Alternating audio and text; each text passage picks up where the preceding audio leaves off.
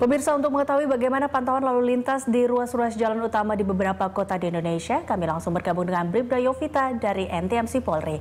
Bribda Yovita, silakan dengan laporan Anda. Baik, terima kasih Elisa. Selamat siang pemirsa. Dapat kami informasikan dari kawasan Pospol Tagok, Jawa Barat, di mana arus lalu lintas dari arah Bandung yang akan menuju ke arah Cianjur terlihat ramai lancar. Begitu pula sebaliknya. Dan harap para pengendara mengantisipasi adanya pasar di pinggir jalan dan angkutan umum yang menaik turunkan penumpang tidak pada tempatnya. Kemudian dari kawasan Pospol Tagok, Jawa Barat, beralih kita ke kawasan Simpang Ciawi, Bogor. Arus lalu lintas dari arah Sukabumi yang akan menuju ke Tol Jagorawi terlihat ramai padat.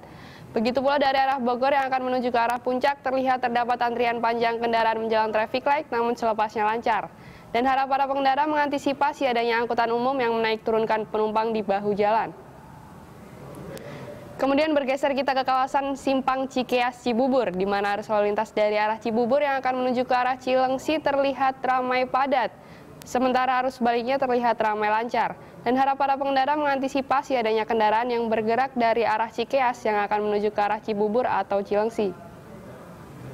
Kemudian yang terakhir kita menuju ke kawasan Bandara Soekarno-Hatta. Saat ini arus lalu lintas yang akan menuju ke arah Jakarta atau dari kawasan Kargo terpantau ramai cenderung padat. Namun harap para pengendara tetaplah berhati-hati serta jagalah jarak aman kendaraan Anda dengan kendaraan lainnya.